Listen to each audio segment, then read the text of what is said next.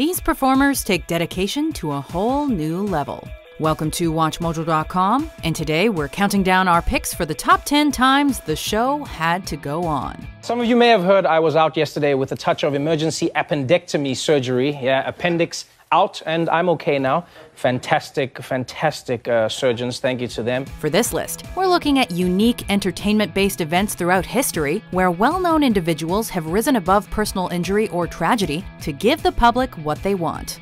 I, I, didn't, at the time, I thought that was just horrible that I, would have to share my grief with so yes. many people, but I just found, you know, the love, the outpouring of love from the fans was just overwhelming. We're including stories from film, TV, and music, but are excluding sports related incidents like Michael Jordan's historic flu game, because that's a list for another day. Michael Jordan continues to blaze away, illness or not. What a play by Michael Jordan! Number 10. Can anybody play the drums? The Who.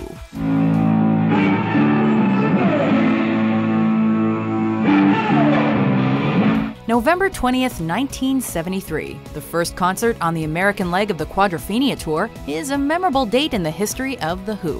Why? Blissed out on a mixture of brandy and tranquilizers, Keith Moon passed out on his drum kit during the band's performance of Won't Get Fooled Again. Despite the fact that the song suddenly had no drum beat, the band continued to play.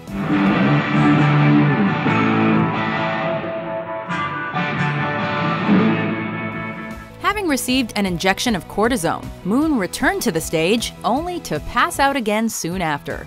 Guitarist Pete Townshend then asked the crowd, Can anybody play the drums? I mean somebody good. 19 year old Scott Halpin took his chance and manned the kit for a three song set. Number 9. Broken ankle? No problem. Jackie Chan. Martial arts action comedies don't get much better than when Jackie Chan is in the lead role. Don't ever make trouble here. I'll beat you up each time. While Rumble in the Bronx was a hit with fans and critics alike, that success came at a price for the leading man. In true Jackie Chan style, he performed his own stunts, including a scene which involved jumping from a bridge to a hovercraft. Despite landing awkwardly and subsequently breaking his ankle, the single shot was used in the final cut of the film. With much of the filming left, Chan refused to halt production and soldiered on, wearing a cast wrapped with a sock cleverly painted to resemble a sneaker. Number 8. Break a leg, Dave Grohl. I think I just broke my leg. The term break a leg was taken to a whole other level for Foo Fighters frontman Dave Grohl during a 2015 concert in Sweden. During the second song of the night, Grohl accidentally took a tumble and subsequently broke his leg. A concerned audience soon turned cheerful as Grohl made light of the situation by jokingly singing the David Bowie and Queen classic Under Pressure, and then promising that he would return after a small trip to the hospital. I'm gonna fix my leg! But then I want to come back. And we're to play for you For the next hour, the remaining Foo Fighters continued, with drummer Taylor Hawkins taking lead vocals. On crutches or in a chair, Grohl eventually returned to finish the show. Bad ass.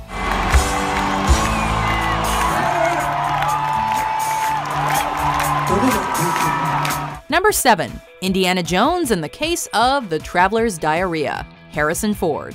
During filming of the first installment of the Indiana Jones franchise, Harrison Ford contracted an unwanted case of dysentery. His illness meant that he was unable to be away from his trailer for more than 10 minutes or so at a time, for, well, toilet reasons. It's not the years, it's the mileage. The result of this was the iconic Arab swordsman fight scene, which saw Ford take care of business quickly by simply shooting his opponent rather than engaging in the planned duel.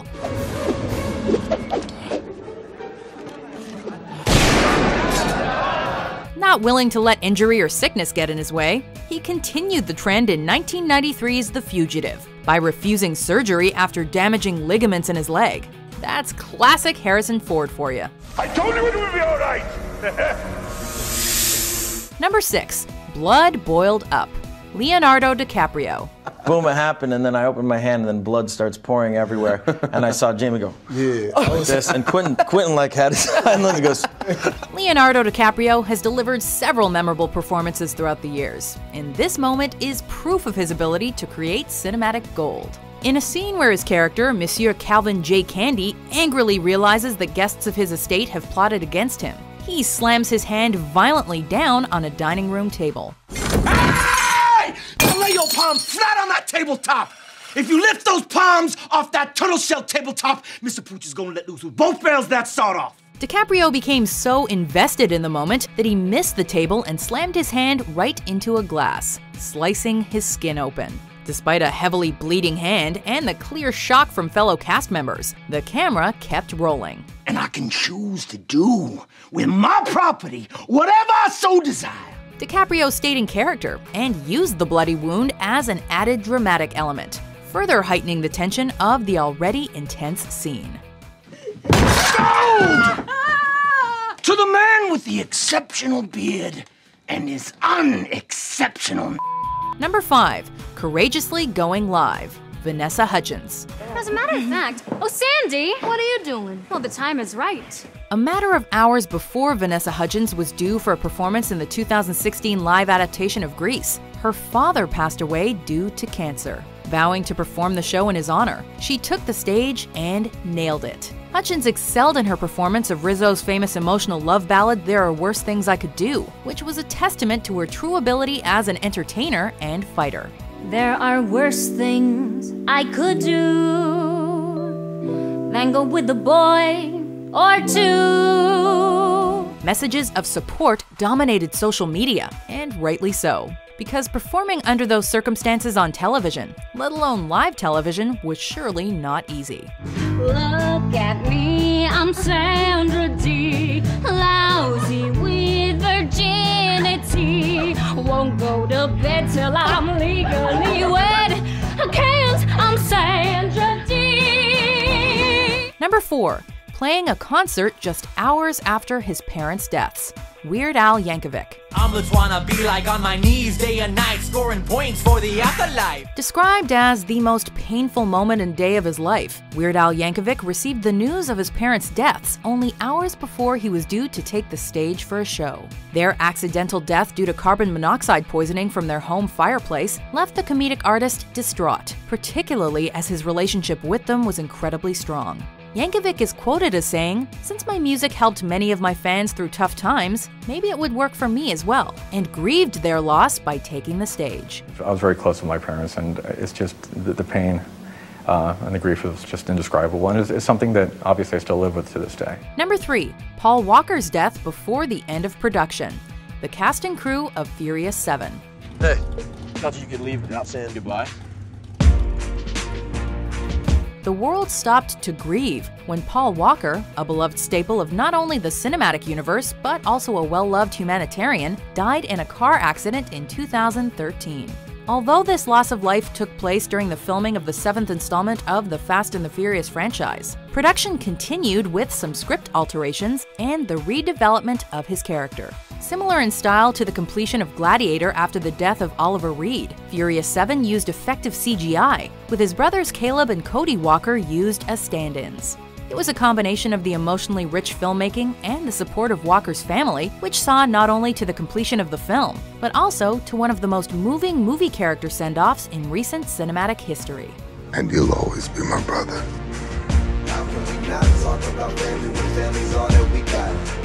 I would you were standing there by my side. And now you gon' be there for the last ride. Number 2. Apocalyptic Heart Attack. Martin Sheen.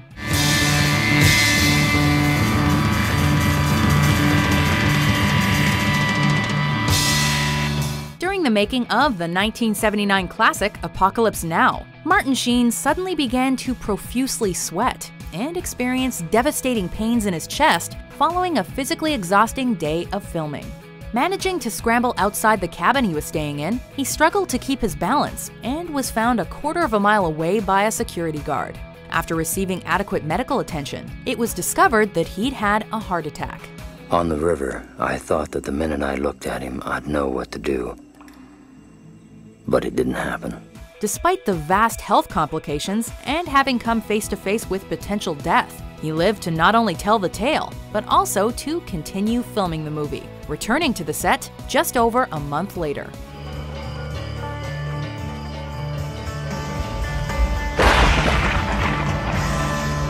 Before we keep the show going with our top pick, here are some honorable mentions.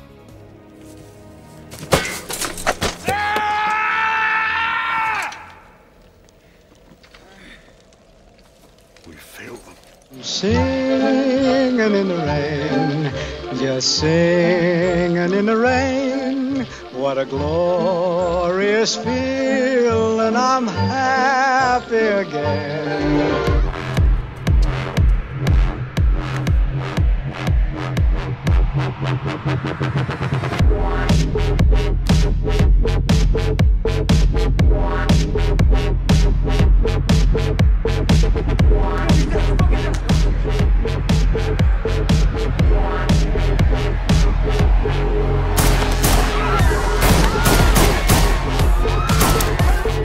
Number 1. The Show Must Go On, Freddie Mercury. Inside my heart is breaking.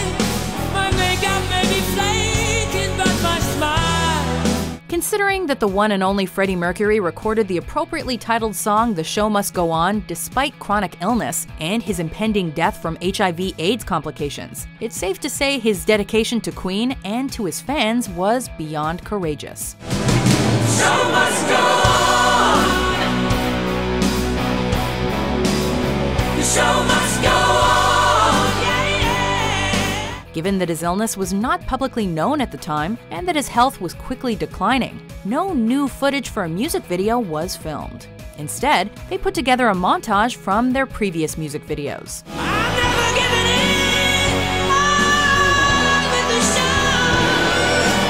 When it came time to actually record the tune, however, Mercury pulled through. He exclaimed, quote, I'll fing do it, darling, and downed a glass of vodka. The result was an utterly passionate vocal performance that he reportedly nailed in a single take.